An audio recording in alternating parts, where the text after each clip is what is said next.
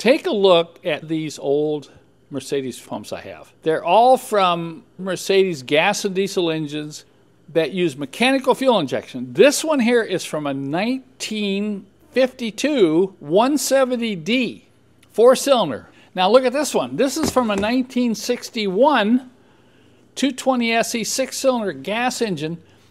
And look at the delivery valves here. There's only two. Well, Kent, how come only two if you have six cylinder? Well, they split it. So this one drives three fuel injectors, this one drives three fuel injectors. And then as we move up into the mid 1960s, this is a six cylinder gas fuel injection pump from an M189 engine. Look, look at these fittings here. They're all the same. All these pumps have the same delivery valve fittings.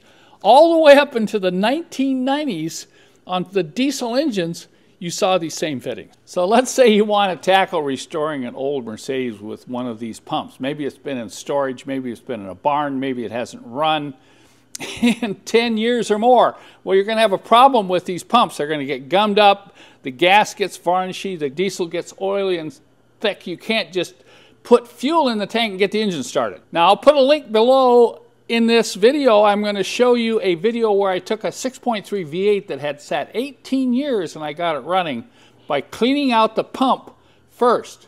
This is the setup I use to clean out these old fuel injection pumps and I can also test them to make sure the flow rate out of each delivery valve is correct because these bottles will fill equally. And I do this by running a cleaner through here and I use the starter motor to spin the pump over while I'm doing my purging and my testing. Now I have kits like this available on my website for four cylinder engines, five cylinder engines, six cylinder engines, and even the 6.3 V8.